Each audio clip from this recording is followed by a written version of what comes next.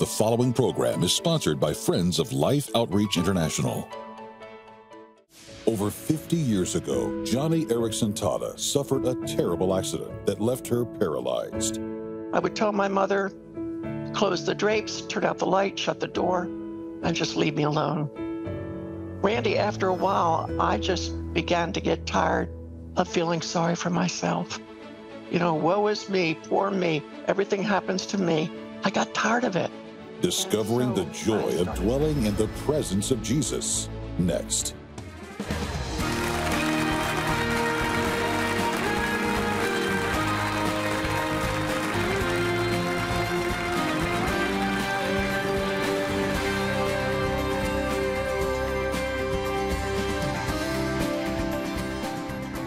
Welcome to Life Today. I'm Randy Robison. Tammy Trent is with me. Tammy, you just spoke with Joni for the first time, right? Yeah, like I've met her before. Yeah. Said hi. What do you think?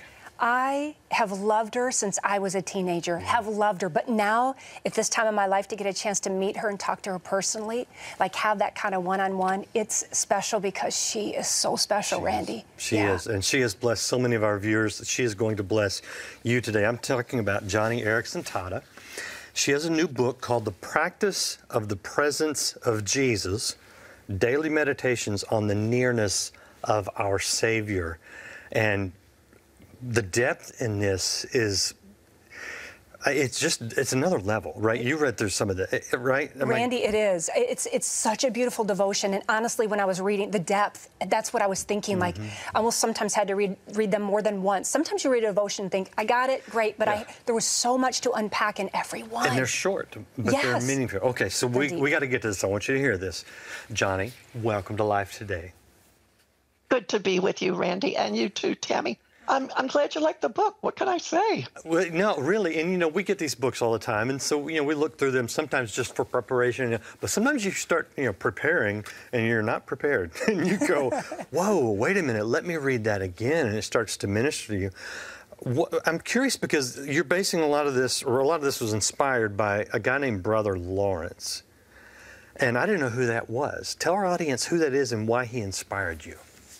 Well, back in the 60s, there was a book called The Practice of the Presence of God, written by a Carmelite monk named Brother Lawrence back in the 1600s, who came to Christ and made his way to a French monastery where he was relegated to scrubbing uh, floors and pots and pans and latrines. But he invited God to be in the in the presence of his menial tasks, his day-to-day tasks. And when I read that in high school, and we're talking about the 1960s, it really touched me. Now, I put that book away on my shelf, but during COVID, of course, all of us were sequestered, so we pulled off of our shelves all the books we wanted to reread, right? And I reread that little book and I thought, "Ah, this is the way I live my life. Except I practice the presence of Jesus. And so that inspired me to put down on paper the things that I have learned over five and a half decades of, uh, of living life as a quadriplegic without use of my hands or my legs. I'm in a wheelchair. You can't see that. But and I thought it might help other uh, readers um, engage Christ in the middle of their ordinary tasks. How to practice the presence of Jesus Christ on a day to day basis. I mean, really, sometimes even moment to moment. And it's been a thrill to write it. Joni, how how do you do that?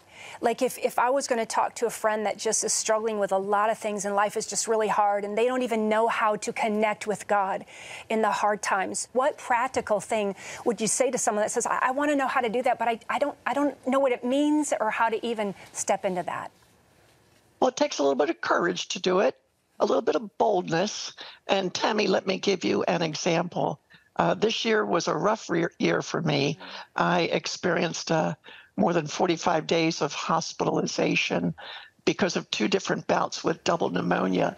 In fact, if our, our viewers can hear some gravelly uh, sound in my voice, my lungs uh, are significantly diminished.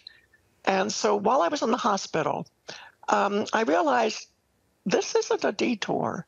This isn't an interruption from my otherwise uh, ordinary day. This is the main road. God wants me here Yes. for his mission. Yes. And so, as all of us Christians should do, we look around us and see what is God up to, who needs a touch of his grace, who might need encouragement. So, Tammy, when uh, hospital aides or cafeteria ladies would bring in the food tray, or when janitors would come in the room, or when, uh, okay, here's an example at 4 a.m., uh, the people from the blood lab come, right? And they wake you up, turn on the lights, and they're drawing blood. And as this woman was drawing blood, I look at her and say, You know, there is a proverb written about you. And she looks at me askew. Yeah, it says in the Bible, Proverbs chapter 14, verse 31, it says, Blessed is he who is kind to the needy, for he honors God. I said, Ma'am, you are honoring God right now because I'm pretty needy and you are blessing me by helping me get better. And she looked at me, put down her needle, and said, Thank you for that. I said, Well, I love Jesus and I just want to bless your day as it gets started at 4 a.m. That's the way to practice the presence of Jesus. Yes. As I said earlier, it takes a little bit of courage, mm. it takes some boldness, Yeah. but you got to put your spiritual antennae up, open your spiritual eyes, the eyes of your heart, and look around, see who has a need, Yeah. and then just make Christ real to them.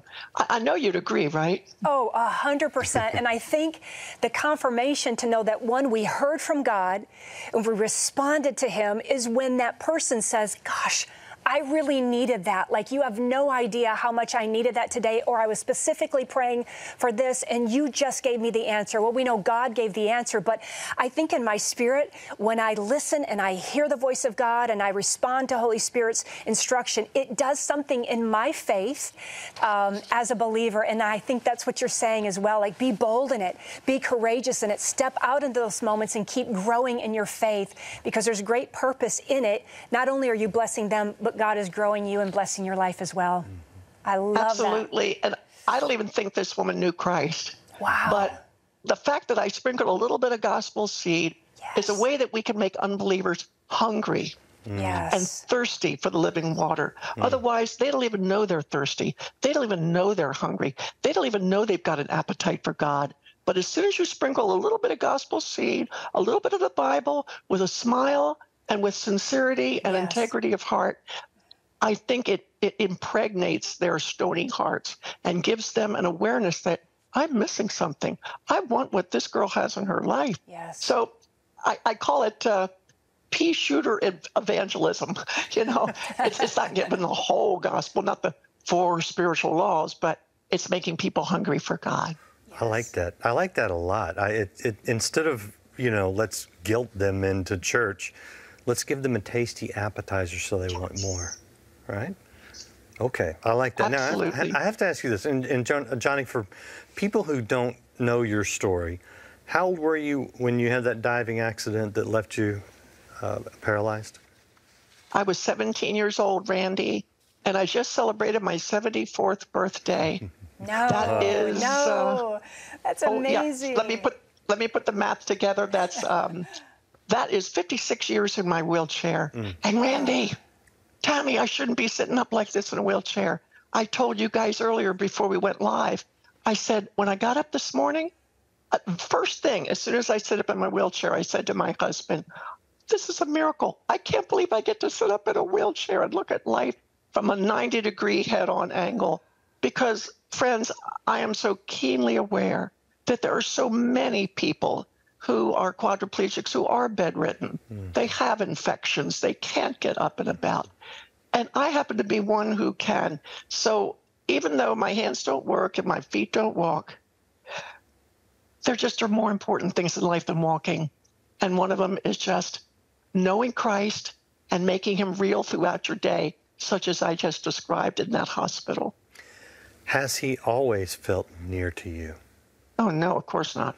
I was so I was so depressed. I was so angry at God. I was so resentful when I was first injured. But finally, after lying in bed in my room uh, for about six weeks, I would tell my mother, close the drapes, turn out the light, shut the door. and just leave me alone. Randy, after a while, I just began to get tired of feeling sorry for myself.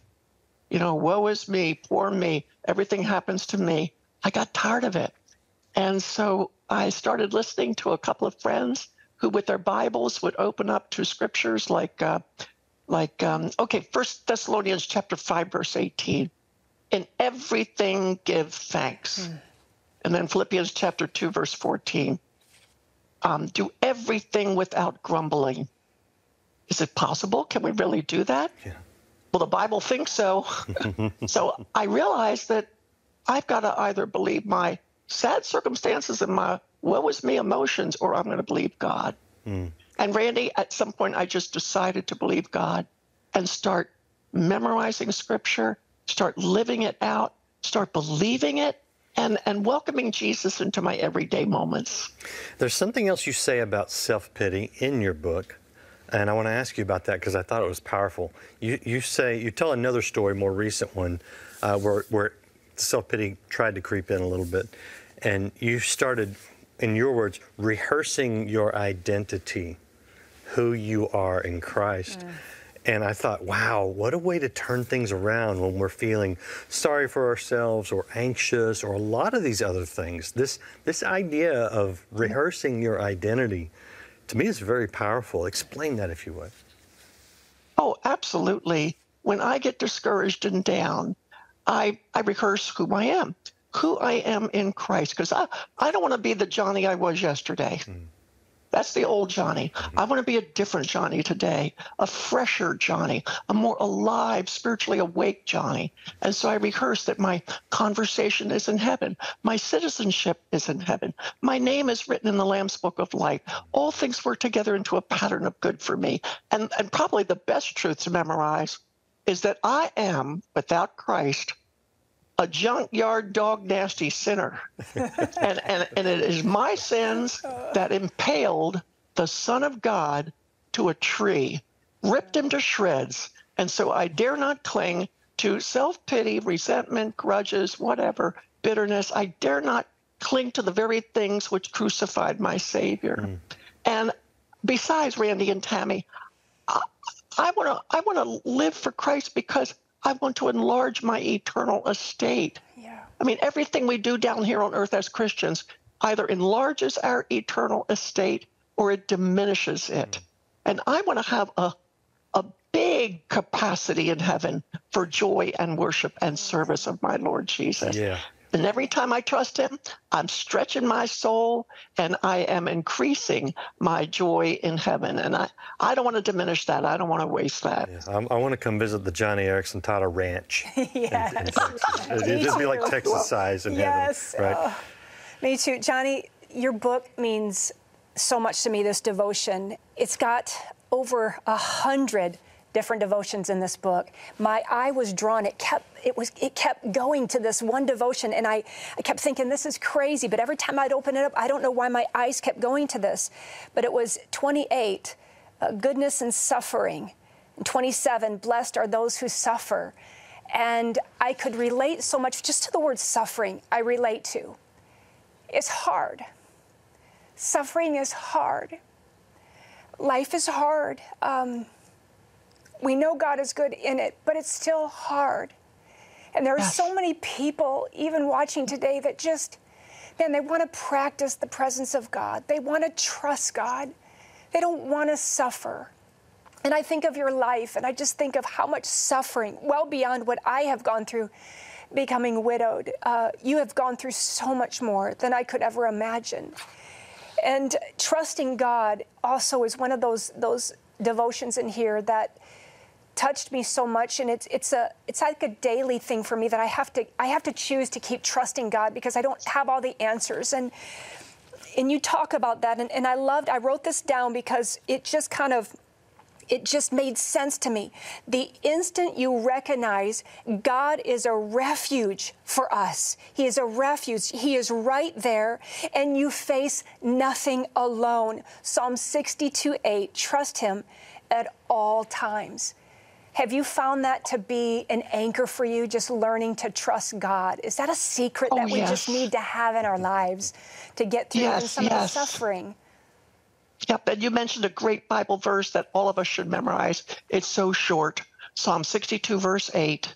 Trust in the Lord at all times, not sometimes, or when it feels easy to trust Him, or occasionally trust Him. Trust Him all times.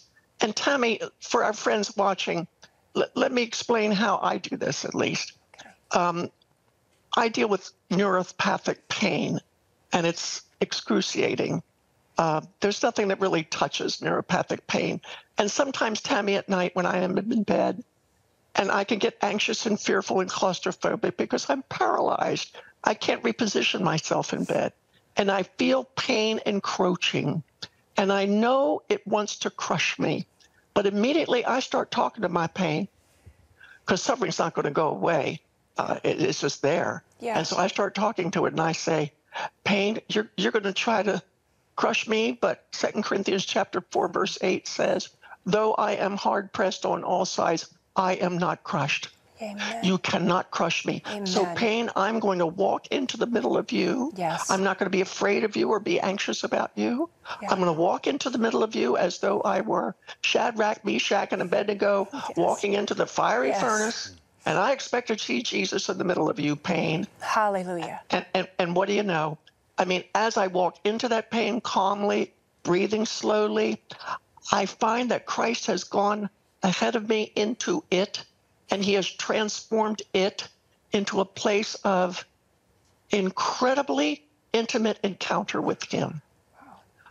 There's nothing more heavenly than Yes. finding Jesus in the middle of your most hellish cir- circumstances. Mm-hmm. To find Jesus in your hell is so heavenly. And that's what you're And so- doing in that moment, Joni. You're practicing the presence of God, calling out on Him. But the, another secret to all of this is Scripture. Like, that's why we always talk about memorize Scripture, know Scripture, because it's a weapon. It is a weapon against the lies of the enemy in those moments that you feel the darkness coming over you. You've got to know and be fully equipped so that you can speak to those things and change that atmosphere rather than that atmosphere changing you.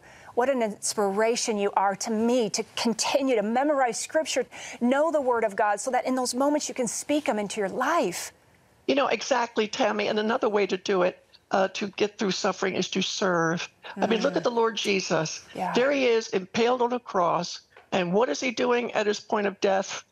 He's serving others. Yeah. He's serving the thief next to him. He is serving the Roman soldiers by his example. He is serving his mother, saying, John, here is your mother. Uh, mother, here is now the one you're going to be living with from here on out. I mean, he is serving even at his point of greatest suffering.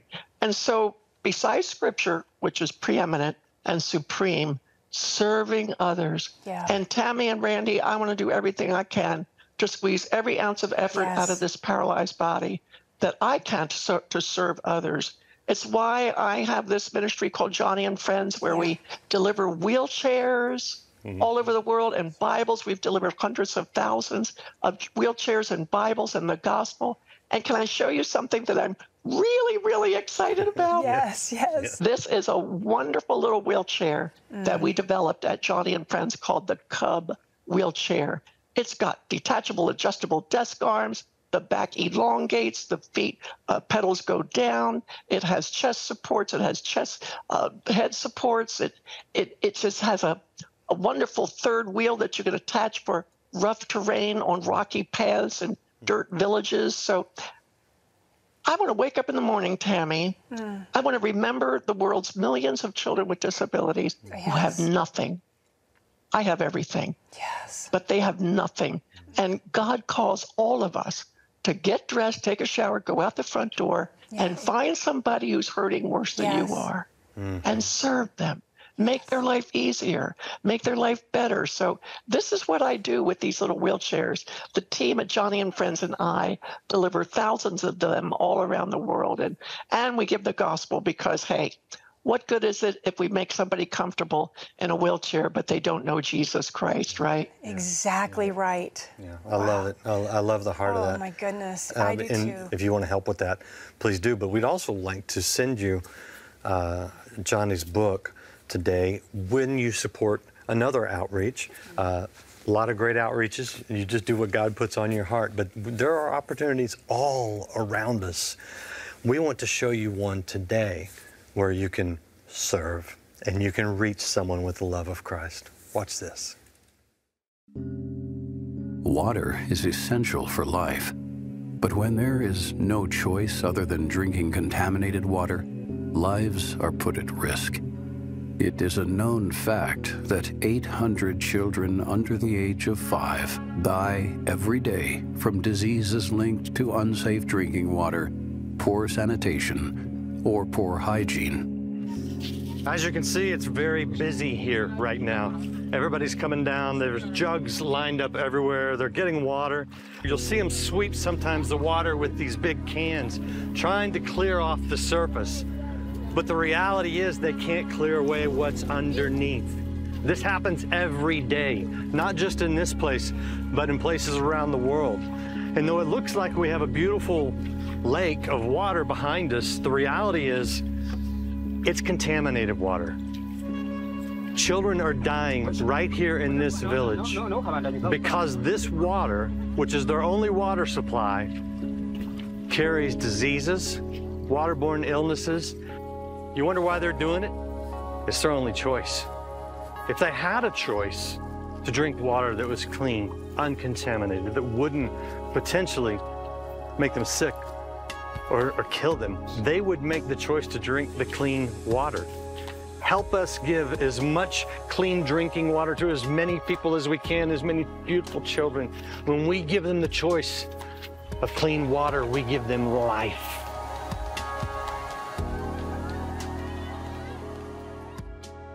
I love seeing them dancing under that that uh, rig that we had just drilled a well in that one village at the end. But in that earlier spot, you know, it, Tammy, it's crazy because we drove kind of down the side of the mountain and you could see this beautiful, looked like a beautiful lake. Yeah. But the closer and closer we got, the more we saw, man, this yeah. is not good. Mm -mm. In fact, what's here will kill them uh, and in so many cases, we found out by talking to mothers that, that they had lost many, many children.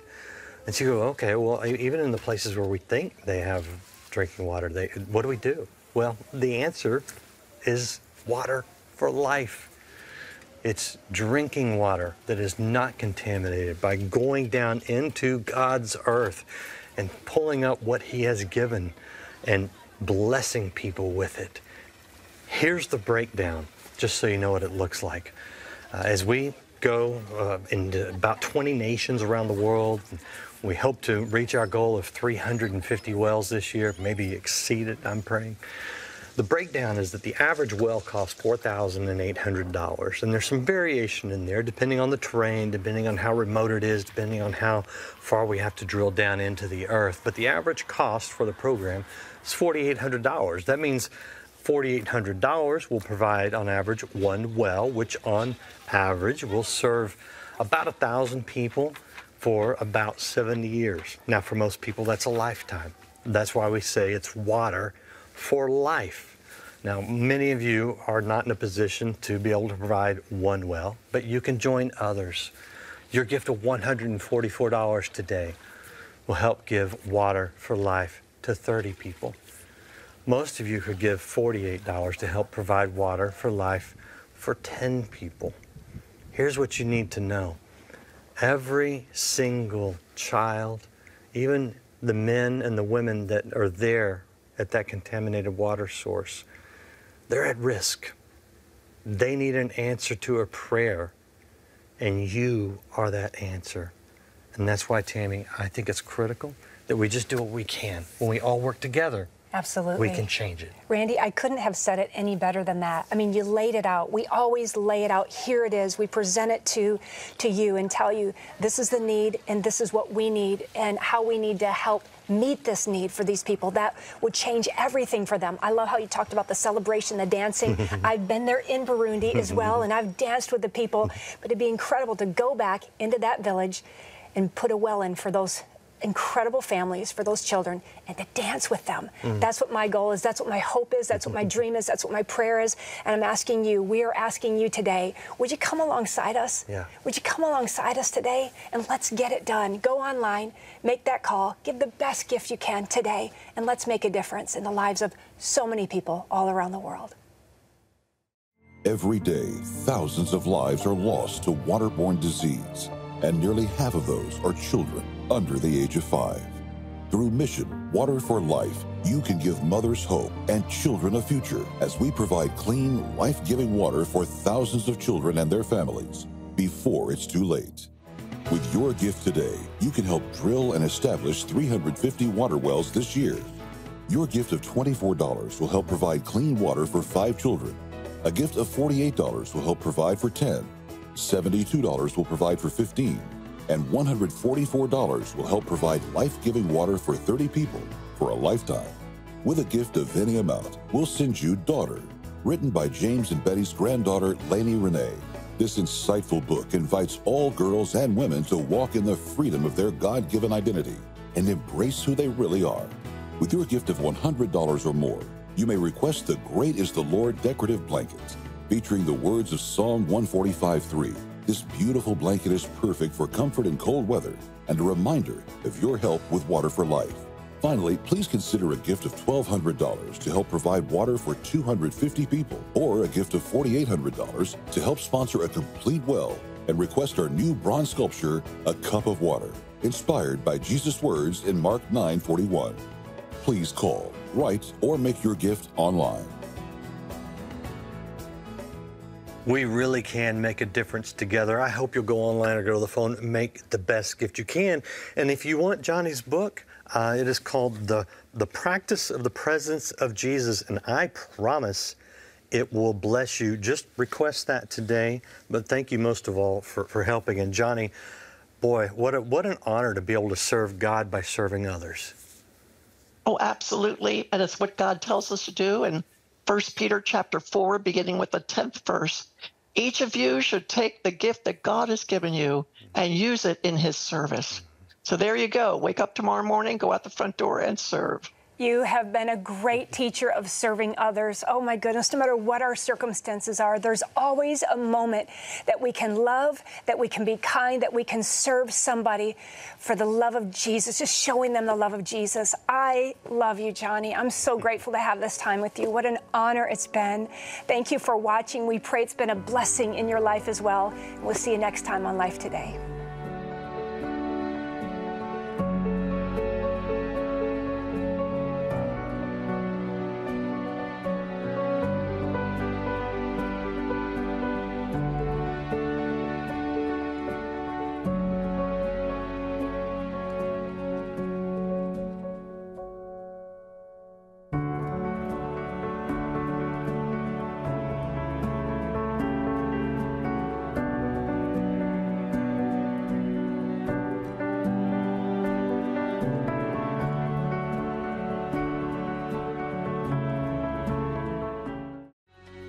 Tomorrow on Life Today, Robert Morgan helps you calm your anxiety through simple daily habits to help you fight against worry.